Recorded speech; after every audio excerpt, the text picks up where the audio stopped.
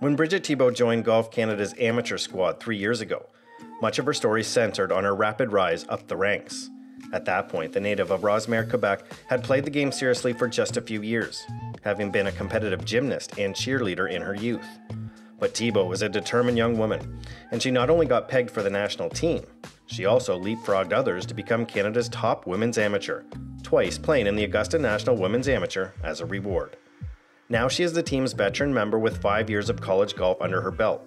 She first started at Fresno State, a smaller school with an under the radar golf program, before transferring to the bright lights of the University of Texas for her COVID option fifth year, where she helped the Longhorns to a Big 12 conference title. It was a leap of faith that Thibault took to prepare for the next level.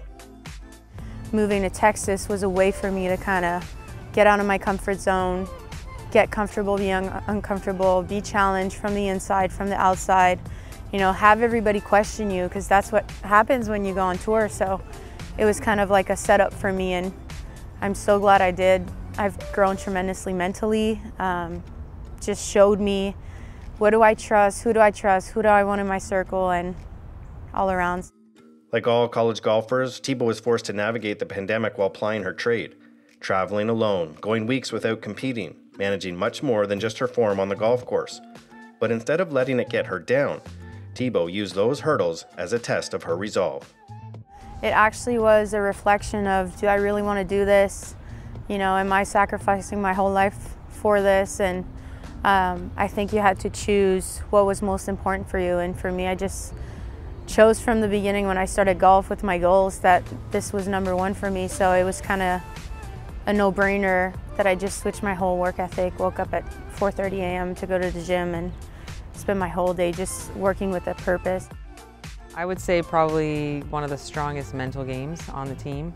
Um, knows how to grind it out, works, you know, works really hard, knows what she wants, um, and uh, yeah, highly driven.